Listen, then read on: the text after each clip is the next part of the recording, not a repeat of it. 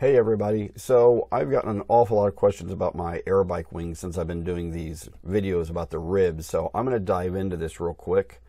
And um, so basically, the drawings that come when you buy the drawing set for the AirBike, there's some pretty detailed drawings on the wings, but there's just a lot of places in my mind that I just thought, you know, I don't understand exactly how that's going to work.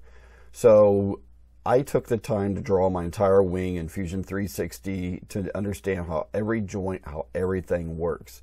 So uh, the next thing I'm getting ready to do on the airplane, as soon as the ribs are done, well, and I'm going to mount my motor because I, I, mean my engine. My engine's going to be here uh, next week. So the next thing is to build the spars, and the spars are basically made out of either spruce or Douglas fir and they're made up of several different pieces that are laminated together. The shear webbing is going to be birch ply. Um, but I've got to build the spars next. And then basically what happens is um, the ribs, excuse me, gets glued onto the uh, spars. And then you're going to, at least for me, I'm going to add all the stiffeners after that and now the leading edge, um, a lot of people ask me if I'm going to take a hot wire and cut foam and make leading edge parts. And no, I'm not. I'm going to, um, I'm going to basically just, uh, you know, cut it out of ply, glue it on just like the plans.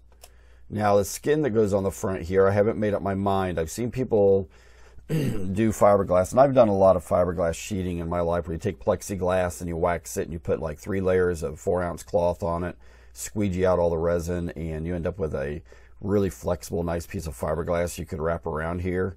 Um, I've done that a lot on my giant scale aircraft, but I'm not real keen on doing that um, for this just because the fiberglass is easy to sand through. If you got any imperfections or anything, if you've got you know, like an eighth inch light plywood there, there's a lot of forgiveness there when you're trying to blend and sand things together.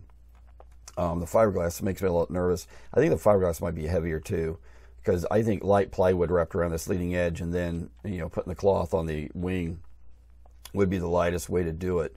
And that's what I'm wanting to do. But if you are good at either SolidWorks or Fusion 360, it's easy to draw this wing. I've actually put this wing on my Patreon. So if you want to download and have the Fusion 360 file, um, you can look at the wing how I at least I constructed it. And um, uh, the aileron, I am going to change. Hang on a minute, hinge hardware. So one thing that the Aerobike plans show that I am going to uh, go away from is they show a slot in this hinge right here so that when you put the aileron on, the two ends are bolted into their um, bushings, but right here there's a slot and you would slide the axle for that hinge into this. Now, of course, the aileron's not going to flex or it wouldn't move back and jump out of that, but my paranoia, I just, I want a real hinge there. So I'm going to put two access panels in the bottom of my wing so I can reach up through here and bolt this uh, hinge on once I put the aileron on. So here's the aileron. So they want th this bolt is part of the aileron and they want a slot in this hinge here where you would slide it in there. And I'm not going to do that. And I've seen a lot of people not do that. They put access panels in the bottom of the wing. And, um, but I hope this makes sense what I'm doing, everybody. I, I just wanted to draw this so that I understood how every piece of wood, I know the dimensions of every piece of wood, I know uh, virtually everything uh, that I have to cut for this. And these are the two hard points that hold the wing of the fuselage for the struts.